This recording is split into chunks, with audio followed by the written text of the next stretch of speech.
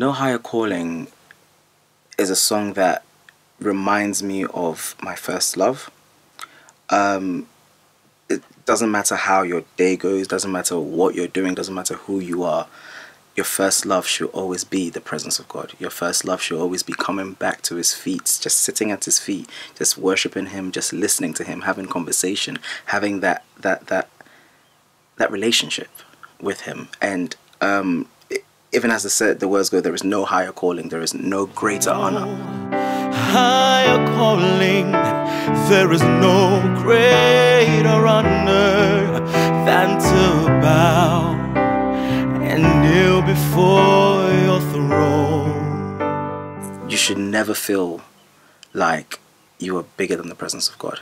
And when you're in the presence of God, don't ever feel like you can't lay it all down and pour out your all to Him.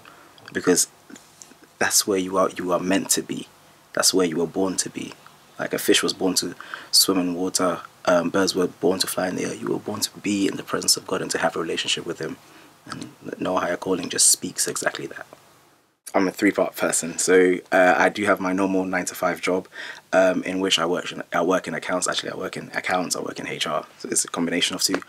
Um, and that's my nine to five. And then on Sundays, I am the director of our church choir. Outside of that, uh, I just go around ministering. Um, I sing, I play keyboard, I play drums, uh, I play guitar, uh, hoping to learn to play saxophone very soon. We'll see how that goes.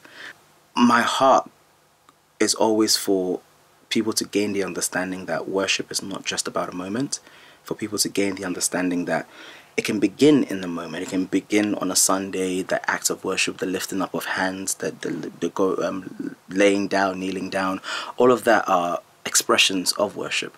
But the worship that really shows forth your heart is the way you, you live your life day in day out how you talk to people how you how you you work your nine to five um, how you relate to your family how you relate to your friends um, just the intricacies of your life is worship unto God.